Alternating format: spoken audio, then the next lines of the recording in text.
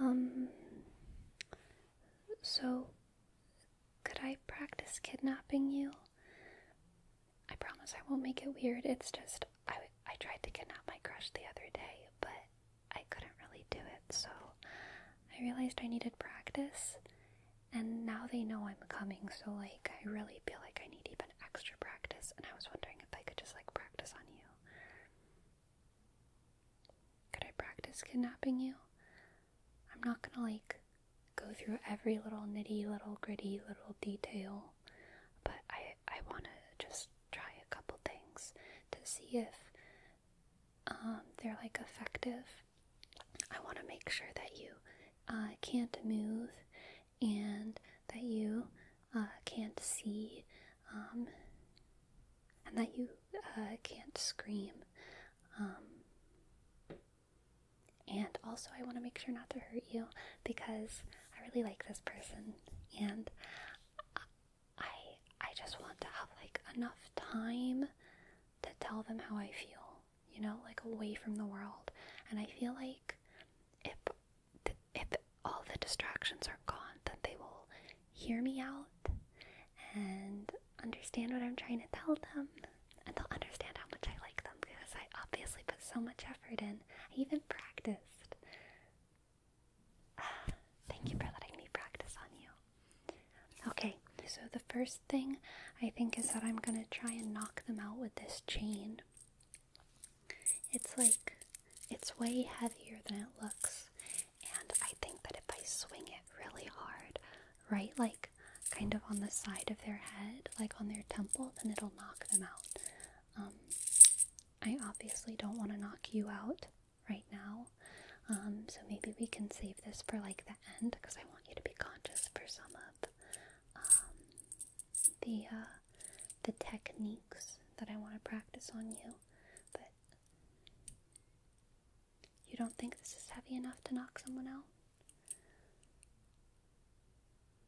What if I swung it really hard? Like what bam?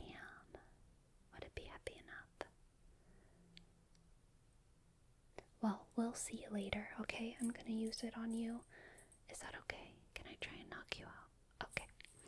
Just making sure, just making sure. I have this rope, and it's kind of smelly.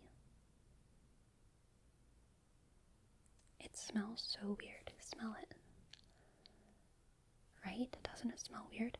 But anyway, I was wondering if I could practice tying up your hands behind your back. Could I do that? Okay. So, just give me your hands. Um, yeah, I can just practice it, the knot, I guess, like in front of you, because I'll do it on their back whenever I'm kidnapping them, but just for practice, I'll just do it when it's when your hands are in front of you, okay? Okay. So, I'm just going to tie that like that. Tighten it. Is that too tight? No? Okay. what about that? Can you get out of that? No, keep trying. Try harder. Okay, good. Alright. And then after I have them knocked out cold, I have this um this spooky mask and it has eye holes right here. But um I think if I just put this mask on their face backwards, then it'll be like a blindfold. Um and it'll just go right over their head and then they won't be able to see anything. So after I put them in the car and then drive away when they're knocked out, even if they're like um like waking up a little bit, um, they won't be able to see anything or like where we're going or anything like that. Um, do you think that? I think it's a really good idea. Thank you. Where'd I get the mask? Uh, the store. The store. You don't need to know where I got the mask. And then I also have these handcuffs. Um, but the wrist holes are pretty small. I think they'll fit them though because they have pretty skinny wrists. Um, I'm trying to keep track of the bag that has the key because I know the key is really, really, really important. I've been like watching this bag like a hawk ever since I got it, just so that I can stay in the habit. Because while I have them restrained, I really want to make sure that they can't steal any of these keys from me. But I also didn't want to just have one key because I, if I only have one key, I feel like I feel like I'm gonna lose it and then they'll be trapped forever, which wouldn't be the worst thing, but I feel like that's just like an unsustainable plan long term. Um, you know what I mean? I want them to eventually, um, like, have like full mobility, or at least as much mobility as they have now. So, I've been keeping the keys safely inside this bag. You like to keep one of the keys as like um as like my backup key person? Yeah, like in case um in case in case I lose my key, would you like to keep the one of the keys? Okay, cool. Yeah. Let's see. Here, you can keep this one. Just um put it on your keychain, okay? Don't lose it. It's very important, okay? So keep track of it. Alright, and now this is honestly the part that I'm like really most nervous about. I need to duct tape your mouth and I need to not hurt you. I might even like I might I might have to duct tape your legs together or like might have to duct tape you to like a chair or something because whenever I do this to them I really want to make sure that I don't hurt them.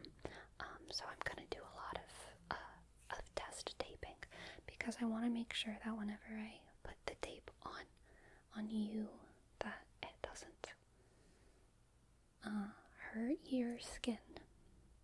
Because I don't want their skin to be hurt and you're my guinea pig um, so let's see. I really, I really hate the sound of duct tape. But when it's slow, I don't mind so much.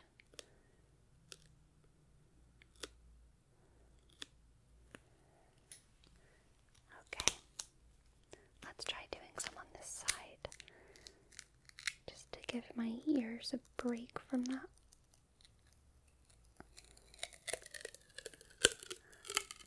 I like it when the sound does that thing though. Okay, I'm gonna use this and can I tape your mouth closed? Okay.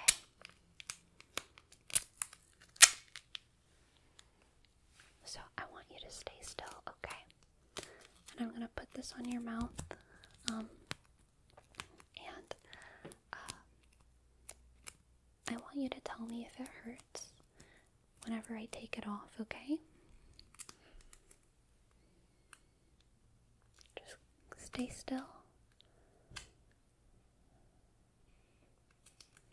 Stay still. There you go.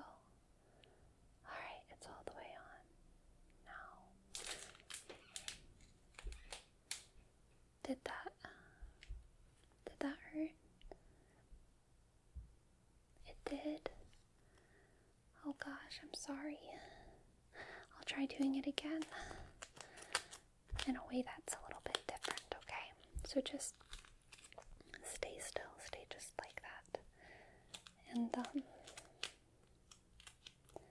I'll just do like this and press it on, press it on, just like that. And now Oh, that one. But it felt a little bit better than before. Okay, that's good to know. It's a little bit better. Okay, I want to keep practicing, but I don't want to keep ripping the tape in the same spot. I'm gonna assume that it's the same if I rip it off on different spots. So I'm gonna just put it on your chin or on your cheek this time. And let me know if my ripping it off technique hurts or not, okay? So I'll just press it on right there. Press it on and Oh, that didn't feel too good. I'm sorry. Let's see. I'll try on this side. I'll just press it on. And that one didn't hurt at all. That's so good. Oh gosh, I'm so glad. That's such great news. I've mastered it. I've mastered putting duct tape on someone and then taking it off and making it not hurt. I think they're gonna really be um, flattered that I did so much for them. What do you think? You think they will too? Are you just saying that or do you do you really think that? Okay. Thank you for being honest. Yeah, I think they're gonna be super flattered. Alright, now I want to try pra- to practice knocking you out. So I'm just going to, um, I'm gonna kind of aim with this. I guess I don't really need to, like, fully knock you out. I just need to, um, like, incapacitate you enough so that you can't stop me whenever I put the mask on you and put the handcuffs on your hands and um, put the duct tape around your ankles and put the duct tape over your mouth. So I just need to incapacitate you. Do you think the best thing would be if I just held this in my hand and kind of punched, like punched you in the temple? I feel like that might actually be pretty effective. I've been going to the gym lately. Okay. Or do you think it would be most effective if I, um, like extended this to its fullest length and then swung it around really hard right into the side of your head? Which one do you think would be better? Maybe I could like double it like this and then swing it really hard. You think swinging it would be better? Hmm. Okay. I guess I could also try choking them with it like this. Do you think that would be too painful? That might hurt them. Here. If I put this up against your neck and press, does that hurt? Okay, yeah, I don't want to hurt them. I'll just hit them really hard in the head with it. Here we go. This feels good.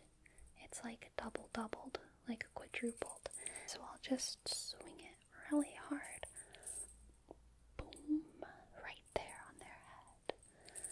I'll just go kaboom. I want to practice aiming it in a couple different ways. Maybe this way is better. Kaboom.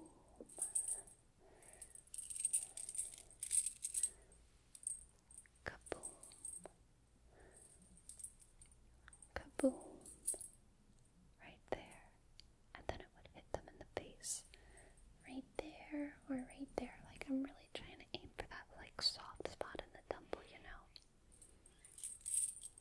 Okay, I'm gonna practice it. You don't want me to knock you out? Can I please knock you out for the practice?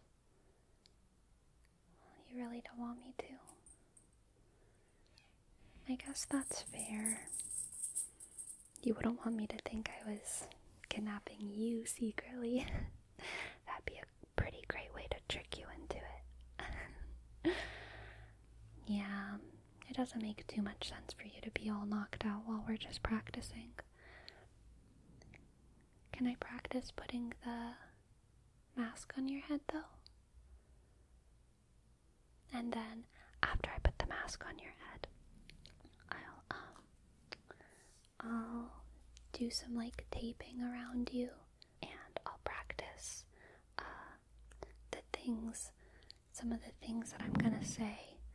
Um because I I wanna make sure I don't say anything weird by accident whenever I'm kidnapping them. Okay. So I'm just gonna put this mask on you and I'll give it I'll put the mask on you with the holes forward so you can see for a little bit, okay? Like this. Alright. Can you see okay? Good. Okay, I'm just gonna practice doing some taping now.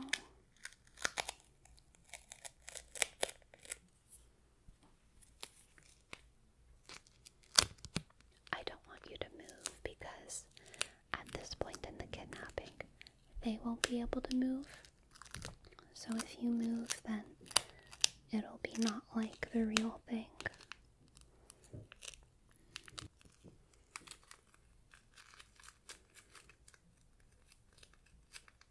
So, while I'm kidnapping them, I think I'm gonna be um, saying things like, Shh, it's okay. It's just Shh, it's okay. I know this is scary, but you're safe right now. It's okay. Just go to sleep. Just go to sleep. It's just me. I know this is scary, but I'll make sure you're okay. I'll take care of you. It's okay. You can just let yourself rest. Let yourself go to sleep. It's okay. It's okay. Here. Once the mask is fully on them and they can't see anything, I'm gonna make sure that they feel safe by touching their head. Just like this. And I'll say, Shh, it's okay. I know you have a bad headache, so just go to sleep. Go to sleep and you'll wake up somewhere much nicer. Go to sleep and you'll wake up somewhere with me. And I'll take good care of you. Don't worry. Don't scream. Don't worry. I'll make sure that you're okay. I'll make sure that you're okay. No one will be able to find you or take you away. Oh, that's spooky. Okay, I won't say that. I'll say, um, I'll say,